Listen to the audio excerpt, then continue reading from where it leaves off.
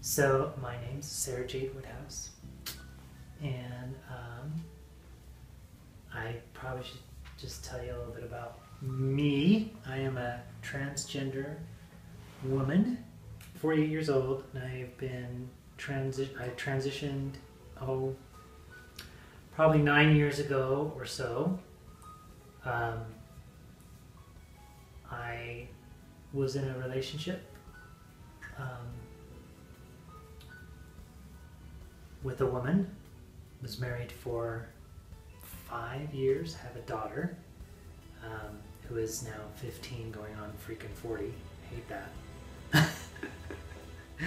and um, I always kind of from when from when I was four years old, I always knew something was different, and I uh, refused to to acknowledge that. It wasn't until years later, after I was married, that we decided to separate, and I decided to live full time as a transgender woman. Started on hormones in January of 2005, which was um, an experience, especially since at the time I had no idea what kind of hormones I should be on, or what levels I should be on, or even what hormones would do to me. I just knew that I wasn't happy with what was going on in my body as it was. But then I found another doctor. Just found it on my own because trying to find a doctor, we don't really have a list of doctors. We kind of just have to go on our own. And I found this doctor um, who was with the University Health Clinic, the Madsen Clinic, and she was really awesome. And I explained to her a lot of the stuff that I had found um, just in my own research. But at least she was open to hearing what I had found out through years of studying just transsexuality in general. You expect, I mean, I guess most people, they go to the doctor and they expect the doctor to be able to help them. I mean, that's what doctors do. They, they help you. And so when you go to a doctor with something that you're ailing from, whether that be a sore throat or a broken limb or cancer or, you know, transsexualism or gender dysphoria, whatever you know the term you want to use for it.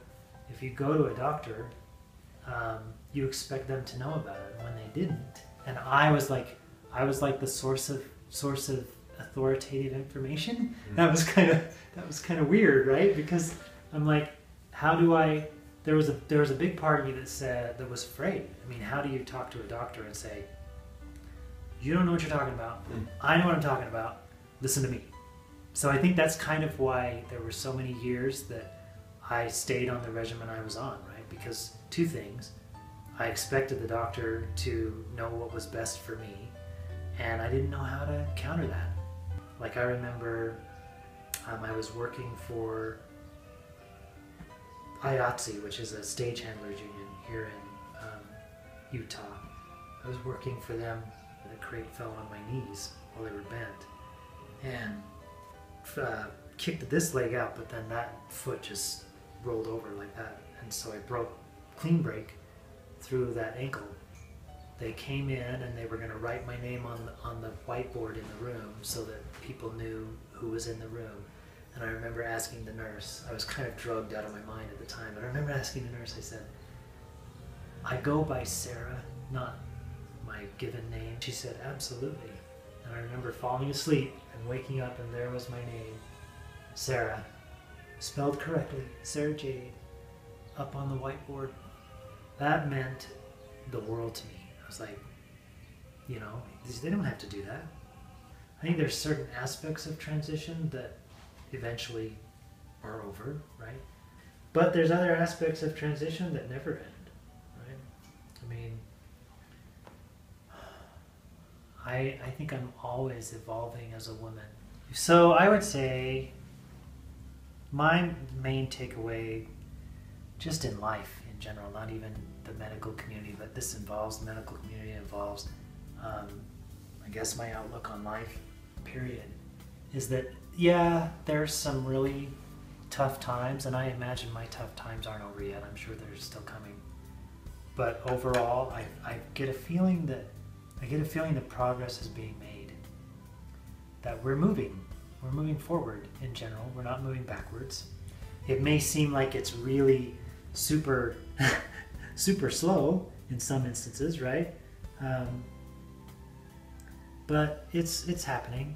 Progress is being made, and um,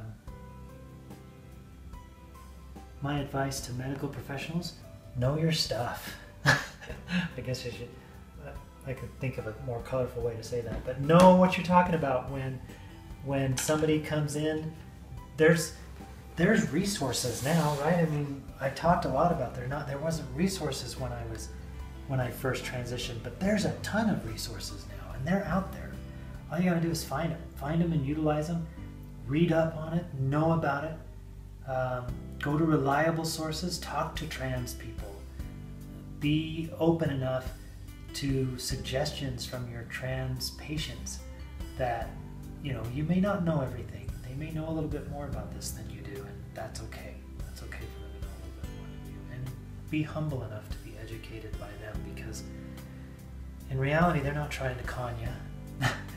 they're not trying to say, you know, they're not trying to insult you by saying, hey, I know more than you do.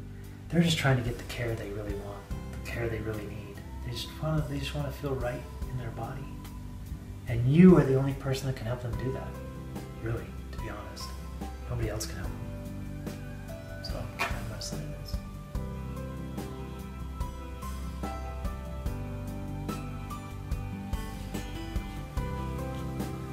There you go.